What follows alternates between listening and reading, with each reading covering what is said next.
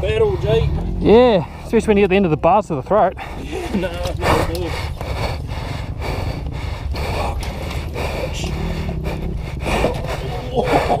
You're right, bro. Fuck my bed.